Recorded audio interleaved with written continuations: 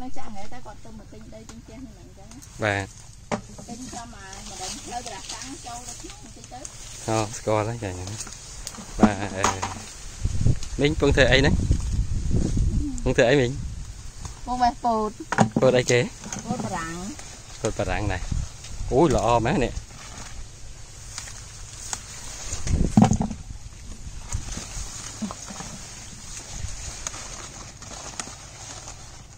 បាទមើលអូល្អជ័យល្អមែនតើជ័យលពួកតើមីងដាំអឺបើរយៈពេលប្រហែលបានបានប៉ុណ្ណឹងហ្នឹងនេះបាដាំមួយខែជាងមួយខែជាងណាចាតែល្អហ្មងណាយើងអត់មានស្រោចទឹកស្រោចអីទេណា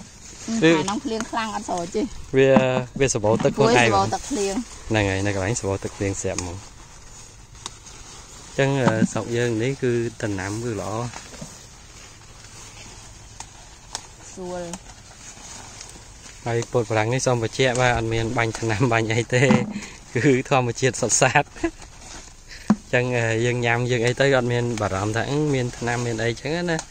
អត់ទេអត់ទេគឺអឺធម្មជាតិសុទ្ធសាធហ្មងដោយសារពោតប្រាំងអឺតកៅអត់សូវចោះអញ្ចឹងទេគឺគាត់ដាំដាំធម្មជាតិមកបានហើយមិនចាំបាច់ថ្នាំទេហើយគឺមើលគាត់បេះ ឡើងញាប់ហ្មងណាញាប់ដៃនេះមកហើយមួយចកានេះបាទចកាពោតប្រាំងនៅស្រុកអីគេមិញនេះស្អាងស្អាងហាត់ហើយខេត្តកណ្ដាលណាហើយយកព្រែកនេះគេហៅព្រែកគេព្រែកនេះព្រែកមកបើឡើយហៅប្រៃជួព្រែកតាជ័របាទអ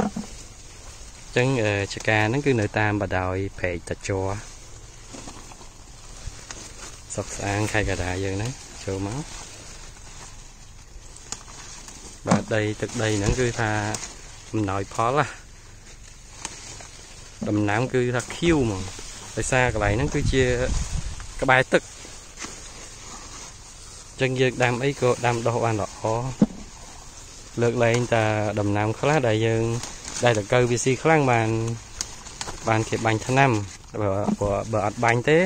យើងធ្វើដាំអត់បានផលទេតកៅវាស៊ីអស់ហើយប៉ុន្តែដំណាំដែល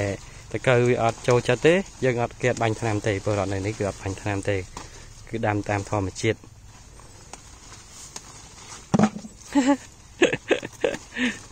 មិញបេះបដាខ្ញុំស្រក់ទឹកមាត់បដាបាទនេះឃើញទេបេះបដាស្រក់ទឹកមាត់បដាហើយខ្ចីពេកទៅណាខ្ចីលវក់មកអានេះវាយើងយកទៅសាច់អាំងសាច់អីហ្នឹងដាក់អាំងជាមួយនេះទៅ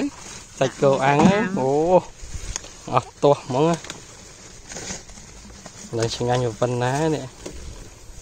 យ៉ាហ្នឹងយើងគ្រាន់តែយកទៅសោះជ្រលក់តាមអំបិលអំបិលម្រេចហ្នឹងក៏តែឆ្ងាញ់ដែរ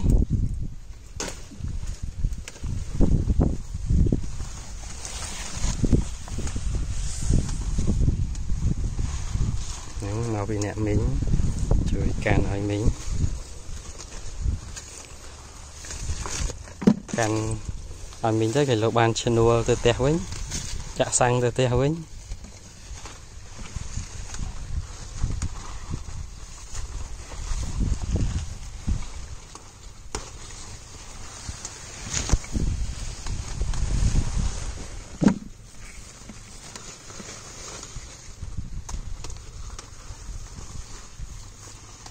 អានេះដល់ពេលយើងបេះអស់មួយដើមមួយដើមអញ្ចឹងទៅតិចទៅវាចេញផ្លែមកទៀតហើយមែនចាទេចេញ ត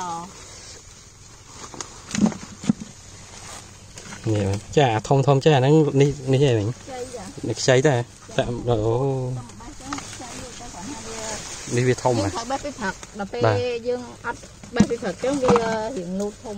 អូអញ្ចឹងធំទៅយើងកាច់ចោលខ្លួនអញ្ចឹងតែមកផឹកហ្នឹងវាឡើងធំហ្មងណាចាជុំលឿនណាស់ណាប៉ុន្តែនេះបើសិនណាអត់បេះថ្ងៃហ្នឹងណែតែណែប៉ុណ្ណឹងមិនហ្នឹងអត់បេះថ្ងៃហ្នឹងតែស្អែកឡើងធំហើយប៉ុណ្្នឹងហ៎ចាអូអញ្ចឹងមកថាប្រើពេលតែមួយថ្ងៃវាធំហ្មងណាចាអញ្ចឹងមិនមែនថាវាធំដោយសារយើងដាក់ថ្នាំដោយសារអីទេពោតប្រាំងគឺវាធំធម្មជាតិវាមកពោតប្រាំងតែយើងបេះអត់តាន់គឺវាធំឲ្យបាននេះអញ្ចឹងហ៎ពេលវាធំអញ្ចឹងហ៎ទៅទៅបីវាធំវានៅខ្ចីដោយសារយើងយើងឆាប់បេះវាណាហ្នឹងហើយបើយើងទុករៀងយូរបន្តិចវាឡើងចាស់ហើយទុកស្អែកមិនស្អែកវាធំណាស់តែវាចាស់ណាស់បាទរៀងចាស់នេះបាទ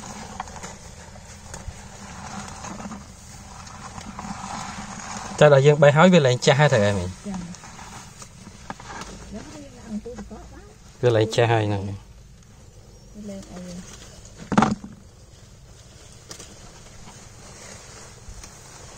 អូឃើញតល់ធ្លាប់ឃើញតែនៅផ្សារ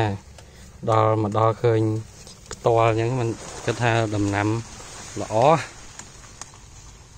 សក់ទឹកមាត់ហ្មងណា ឃើញទេអានេះអានេះបន្លែសុខភាពហ៎បងប្អូនបន្លែសុខភាពបានជួយច្រើនណា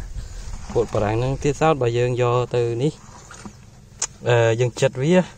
ចិត្តវាហើយយើងត្រាំដាក់ដាក់ទឹក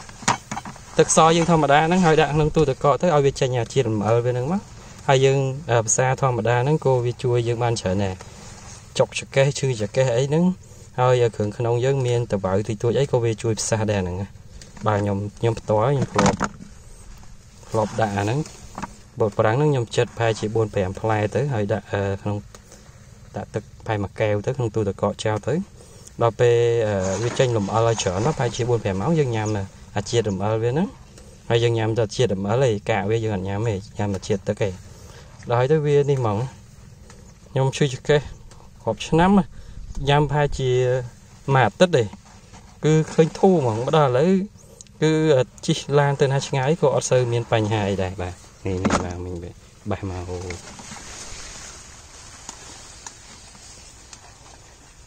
បាទមិញអរគុណច្រើនណាមិញមិញ Dạ, អរគុណច្រើនមិញ